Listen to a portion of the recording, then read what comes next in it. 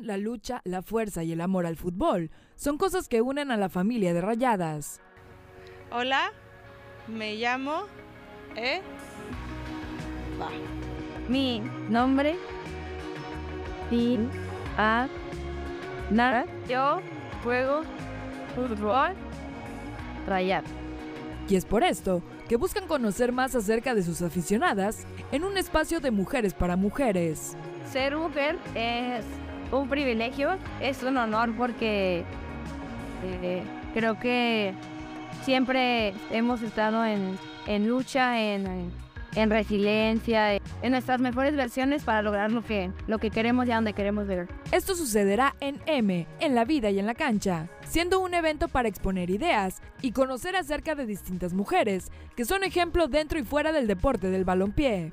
Estoy muy emocionada por, por lo que pueda suceder, por lo que ahí vamos a hablar y, y que para mí va a ser creo que un, un, un, un evento parteaguas porque las rayadas, las rayadas reciben a estas mujeres, las rayadas las traen a casa y las rayadas les generan un espacio libre, creativo, eh, reflexivo acerca de lo que está sucediendo en el mundo y para mí eso es, es maravilloso.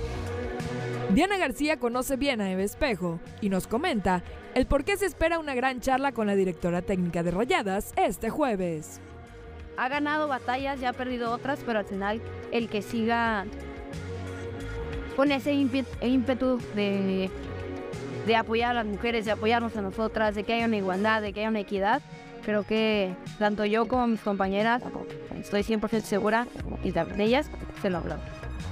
En este evento se podrá conocer más a cada exponente, pero también unirá más aún a cada una de las rayadas. Lo que nos une en el fondo de las rayadas es que sabemos que estamos en un grupo en el que compartimos ideas y que cada una de nuestras compañeras nos va a llevar a otro nivel, a, a crecer. Entonces creo que eso es algo súper poderoso que nos une y ese para mí es, es, es lo que las rayadas pueden aportar.